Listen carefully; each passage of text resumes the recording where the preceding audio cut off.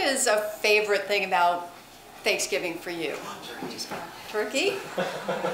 Cranberries and turkey and stuffing. Okay, so food, I'm hearing food, anything else? Italian Food relatives. family. family. Family. And family? Tradition. Yep. Just the food. I'm with all, I, I'm with you, Travis. My favorite part of Thanksgiving is the leftovers. And even though I have my meals planned for the week, which is great, what I really like about leftovers is the turkey sandwich. In fact, I'll make my turkey dinner at noontime. That way I'll be hungry by five again, so I can make my turkey sandwich. And not just any turkey sandwich, it has to have fresh bread, you know, the kind where you can squish it and it bounces, springs back up. And then I layer it with mayonnaise, but real mayonnaise. None of the salad dressing, low-fat type of mayonnaise. It's got to be real. And then I make a meat stuffing, and then I put the turkey, and then another slice of bread. So that's what I like about Thanksgiving, is the leftovers. But I'm thinking about this one Thanksgiving in particular, really wasn't any different than other ones where I had plenty of leftovers, put them all in Tupperware containers and into the refrigerator. But some of it was hanging out a little bit, so you had to give that refrigerator like a shove, just to make sure that it closed, because if anything was poking out, I had to juggle things around to make sure it would close. And the next day, I went out shopping for a few hours. And you know that little feeling you get when you think about, oh, did I shut the stove off? Or, and for me, it was, did I remember to give that refrigerator another shove close? I convinced myself I did. It was too far to turn around anyway, so I had a great day shopping. And I came home, but that sinking feeling kept coming back as I was getting closer to the house. Did I mention I had a dog? Uh, that was home alone. His name is Rocky, or was Rocky. He was our first lab rescue, chocolate lab. Loved to play with the tennis ball. That's all he had on his mind most of the time was to play the tennis ball. And if we weren't throwing it and he wasn't catching it, then he was always chewing on the tennis ball. Well, I got closer to the door, peeked inside because we would go in the back way and you could see the kitchen. And I looked inside, everything was fine. So I was like, oh, yeah, that's what I did too. Phew. I was appreciative for that. And I walked into the kitchen and kept walking to put my stuff down. But something caught my eye in the adjoining room over here. And it's the wood stove room. It had some comfortable chairs in it and of course a wood stove, just books, no TV. It was just a relaxing room. And what I saw there in that wood stove room was Rocky sitting in the middle of the room.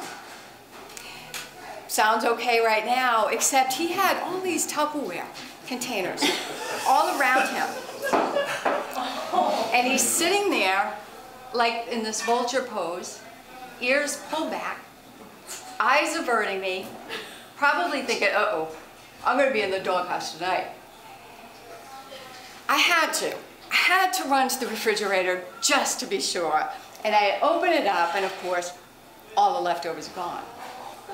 And to add insult to injury, we had had Chinese food a few days before Thanksgiving, and there were these empty Chinese cartons as well, strewn along the floor with all the Tupperware containers. Now the thing is, these Tupperware containers were looked clean.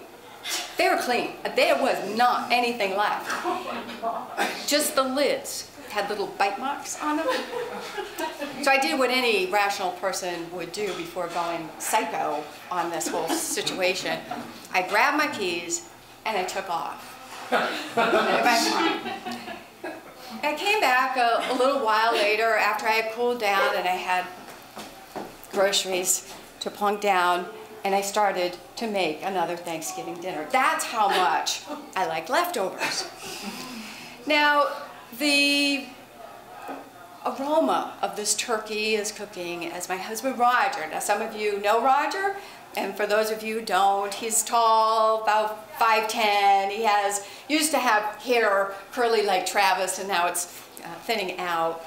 And he's very gifted and talented. He can pick things up easy, and he's used to be this athlete, this triathlete, and extreme sports kind of guy. But the one thing you don't do is when he was coming home from work is barrage him with chatter. He needed to unwind. But I couldn't wait to tell him what had happened. And I just told him, I said, well, you should hear what my day is and the turkey's in the oven. He's like, what turkey? I thought we have leftovers. But I said, and I couldn't even finish this gory story about what Rocky had done. And he said, oh, well, you just didn't close your refrigerator door. Now, of course, that's what was going through my mind, too. But I thought, well, you know what?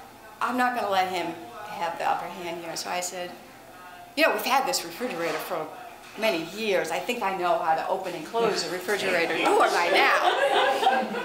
But I let it be, and that was the end. There wasn't any thievery out of the refrigerator for quite a while. And one night, Roger and I are sitting in the wood stove room. And we see the refrigerator light go on. So we bolt over to the refrigerator, and lo and behold, who's got their nose in it but Rocky? And he's pulling out carrots. I kid you not. Now, I know that Labradors are retrievers, but retrieving from the kitchen just really seems to be cheating a little bit. Well, you should have seen the look on Roger's face and the triumph look on my face thinking, oh yeah, oh yeah, you are in the doghouse tonight, mister. So after that, we made a few more changes. We got a childproof lock to put on the refrigerator door, which was great fun to watch guests come over and try to open it.